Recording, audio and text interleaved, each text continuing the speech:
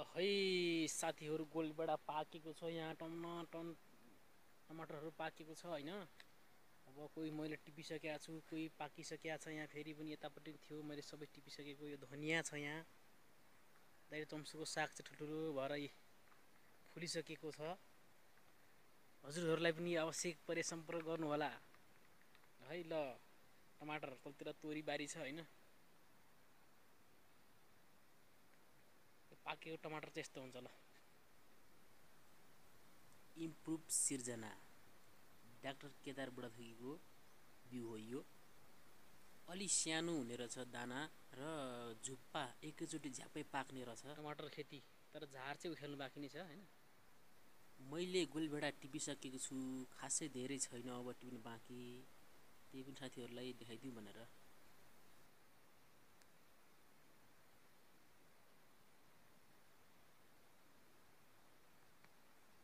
पाकेको टमाटर पाकेको टमाटर।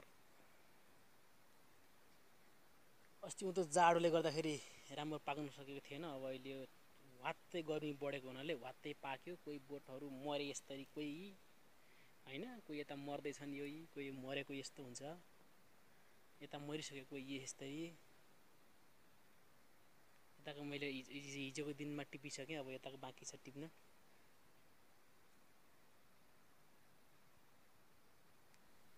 यस्तै यस्तै भिडियो हेर्नुको लागि च्यानल सब्सक्राइब गरिदिनु होला। भिडियो हेर्नु भएकोमा धन्यवाद।